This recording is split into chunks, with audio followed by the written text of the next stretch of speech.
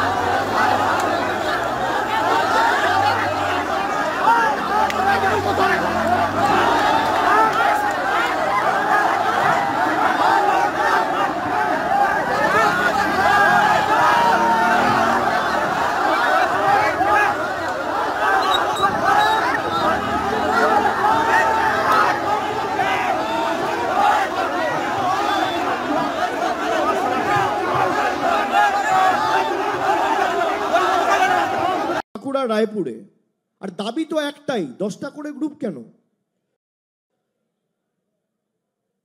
আপনার যদি দাবি একটা হয়, তাহলে তো দাবি একটাই হবে, একটা গ্রুপই আসবে। আর আপনি যদি কথা বলতে চান, আপনি আসুন না, কথা বলুন, কে বারণ করেছে? আপনি তো শান্তিপূর্ণ, সৌহার্দ্যপূর্ণ পরিবেশ বজায় রেখেও কথা বলতে পারেন। ইট, পাটকেল ছুড়ে যারা আন্দোলনের নামে জল্লাদদের উল্লাস মঞ্চ করে এই ঝাড়গ্রামে আবার অশান্তি ফিরিয়ে আনতে চাইছে ঝাড়গ্রামের মানুষ আজকে শপথ নিন, এদেরকে ক্ষমা করবেন না। শপথ নিন। এর পিছনে কোন রাজনৈতিক নেতা রয়েছে, কর্মী রয়েছে, আমরা সব জানি। আর আদিবাসী কুর্মী সমাজ বলে যদি তারা নিজেদেরকে দাবি করে, আদিবাসী কুর্মী সমাজের মুখে জয় গোড়ামের স্লোগান হবে। জয় শ্রীরামের স্লোগান কেন হবে? আর আমি যদি যাই, পালিয়ে যাচ্ছে কেন? এত ভয় কিসের? ভাবলো কি অভিষেক বন্দ্যোপাধ্যায় লেজ গুটিয়ে পালাবে?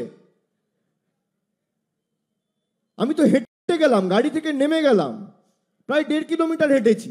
যে আসুন না, আপনারা কি স্মারকলিপি দেবেন দিন? একটা লোকও নেই, তার মানে কি? এই এই পুরো বিক্ষোভের যে নাটক, এটা কারা সংগঠিত করেছে?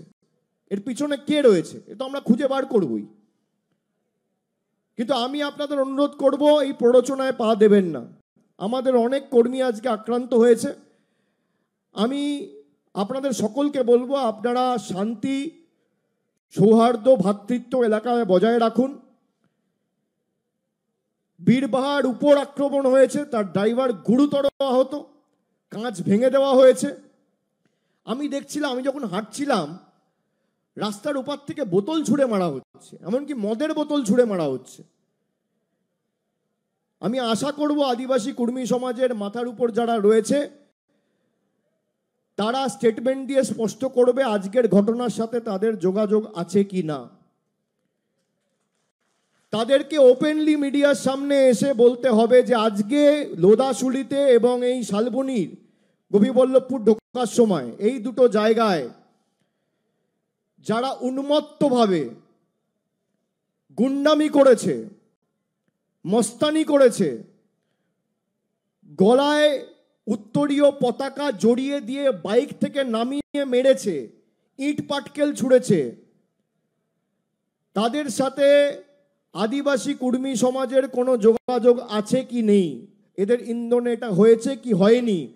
আগামী আটচল্লিশ ঘণ্টার মধ্যে যদি আদিবাসী কুর্মী সমাজ এটা স্পষ্ট করে না বলে, তাহলে আমি আবার বলছি, আমাদের যা পথ অবলম্বন করার আমরা করব, কিন্তু আপনারা যদি এই ঘটনার সাথে যুক্ত থাকেন, এটা স্পষ্ট করে মিডিয়ার সামনে আটচল্লিশ ঘণ্টার মধ্যে যে নেতা কর্মীরা এই আন্দোলনের সাথে যুক্ত রয়েছেন, আমি আপনাদের আন্দোলনকে সম্মান করি।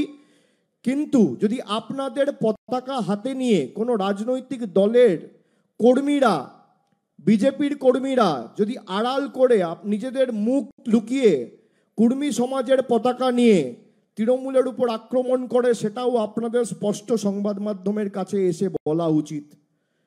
আমি বিশ্বাস করি আপনারা বারে বারে বলেছেন যে আমরা শান্তিপূর্ণ আন্দোলন চাই। আমি গত পরশুদিনও বলেছি। পুরুলিয়াতে। যে আপনারা আন্দোলন করুন, কিন্তু এই রেল ব্লক করে একটা গর্ভবতী মহিলা তার এমার্জেন্সি হসপিটালে ট্রিটমেন্টের জন্য যাচ্ছে। এই যে রেল ব্লকেট করছেন, সাধারণ মানুষের অসুবিধা করে কোনোদিন আন্দোলন হয়? সাধারণ মানুষের অসুবিধা করে রাস্তা আটকে, রাস্তায় বসে গিয়ে মশাল জ্বালিয়ে কোন আন্দোলন? এ তো জল্লাদদের উল্লাস মঞ্চ। আমি আপনাদের অনুরোধ করব, আপনারা কোনো রকম কোনো প্ররোচনায় পা দেবেন না। এর দায়িত্ব আমার উপর ছেড়ে দিন। যদি কেউ ভাবে আদিবাসী কর্মী সমাজের পতাকা নিয়ে জয় শ্রীরাম বলে বিজেপির ক্ষোভ তৃণমূলের বিরুদ্ধে উগড়ে দেবো আর অভিষেক বন্দ্যোপাধ্যায়কে ভয় দেখাবো, আমি এখানে তো আছি। তোর কত ক্ষমতা আছে বিজেপির নেতা কর্মীদের বলব? আয়, মাঠে ময়দানে আছে। আয় লড়াই করতে।